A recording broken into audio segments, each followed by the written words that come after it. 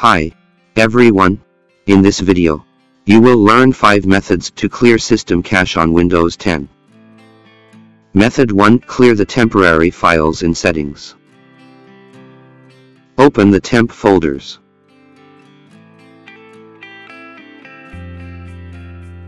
Delete all the temporary files and folders in it. Method 2 Employ Disk Cleanup Utility. Press Windows plus S and type Disk Cleanup. Open the Disk Clean tool. Select the drive you want to clean up and click OK.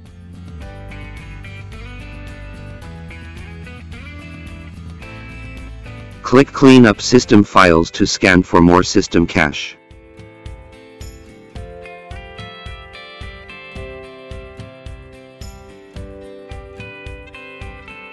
Check the items you want to delete. Then click OK button to clear all the selected files.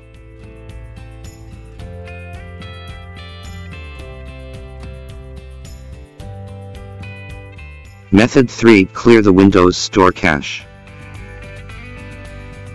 Click Start Settings. Tap Apps. Click Microsoft Store and choose Advanced Options. Click Reset.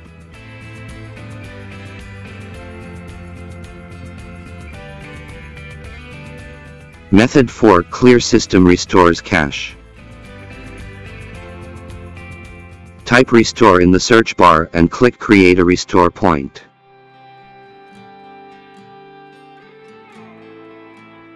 Choose your system drive.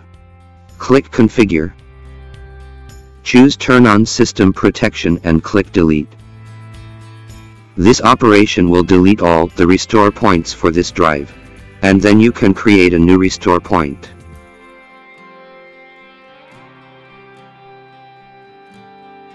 Method 5 Clear System Cache using Minitool Partition Wizard. Launch Minitool Partition Wizard. Click Space Analyzer. Select a hard drive and click Scan.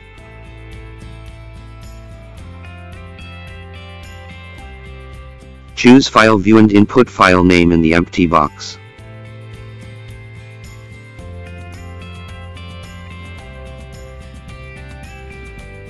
Click Apply button to filter the files you want. Right-click the cached files you want to remove and choose either delete to recycle bin or delete permanently.